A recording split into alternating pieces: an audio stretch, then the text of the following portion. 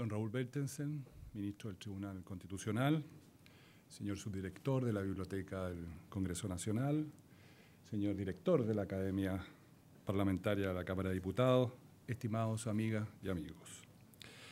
El directorio de la Sociedad Chilena de Derecho Parlamentario y Teoría de la Legislación les da la más cordial bienvenida al acto de inauguración de las cuartas jornadas que organiza nuestra corporación con la ayuda muy valiosa de la Academia Parlamentaria. Participamos de esta iniciativa un conjunto de funcionarios, profesionales y académicos interesados en fomentar en nuestro país los estudios sobre el Parlamento, el derecho parlamentario y la teoría de la legislación.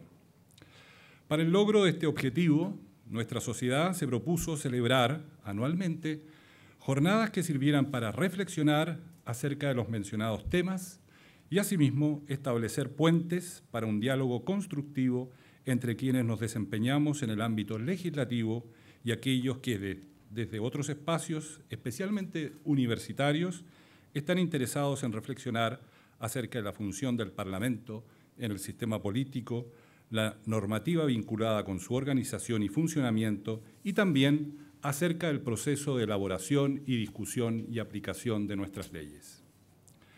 Cada rama del Congreso Nacional cumple importantes tareas políticas, fiscalizadoras y legislativas.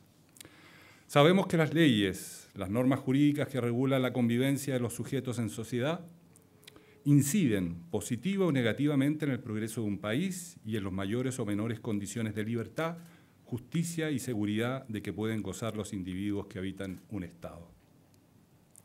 Acogiendo estos propósitos, nuestra sociedad ha orientado su quehacer en tres ámbitos. En primer lugar, los estudios de derecho parlamentario, área que se ocupa de todo lo relativo a la constitución y organización y funcionamiento del Parlamento, sus relaciones con los otros poderes del Estado y de manera especial su vinculación con la opinión pública y los ciudadanos. En segundo lugar, el área de la teoría de la legislación, ámbito en que estudiamos la forma en que se legisla, el desarrollo de sus marcos teóricos y prácticos con el fin de incrementar la racionalidad o calidad de las leyes. Finalmente, un área también muy importante para nosotros es la que está referida a la administración parlamentaria, cuyo propósito es analizar y formular propuestas para organizar de mejor manera los servicios administrativos que sustentan la labor de nuestros legisladores.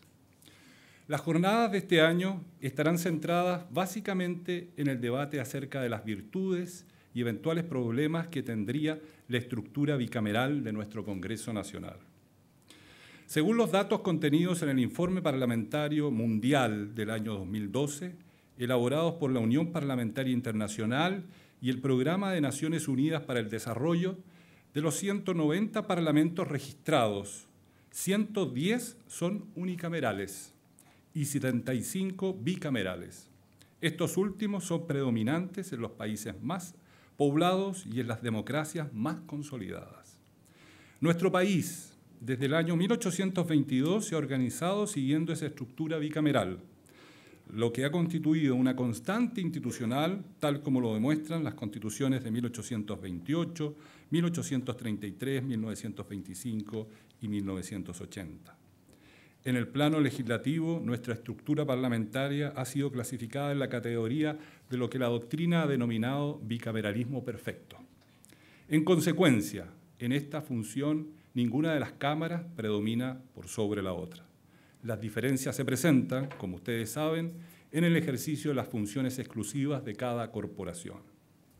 En todo caso, este no es un tema cerrado, como lo demuestran los debates académicos y políticos que se han venido realizando desde hace algunos años.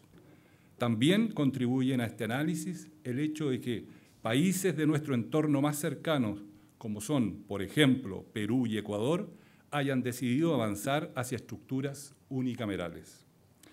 Reflexionar sobre las virtudes y problemas que podría presentar la actual estructura bicameral de nuestro Parlamento y, por ejemplo, su impacto en nuestro sistema político y legislativo, y cómo un cambio a un sistema unicameral podría, de alguna manera, obligar a una reforma más sustantiva de todo el funcionamiento de, todo el aparato legislativo, constituye un interesante ámbito de reflexión que queremos abordar esta mañana.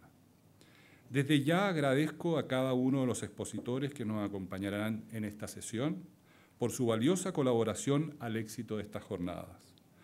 Concluyo estas palabras de bienvenida señalando que estamos convencidos que si avanzamos en el desarrollo de los estudios acerca del Parlamento, la teoría de la legislación y la administración parlamentaria, alcanzaremos los objetivos por los cuales nos constituimos y contribuiremos a construir en nuestro país un Estado democrático de derecho donde tengan una mejor protección los valores de la libertad, la igualdad y la seguridad jurídica. Muchas gracias a todos.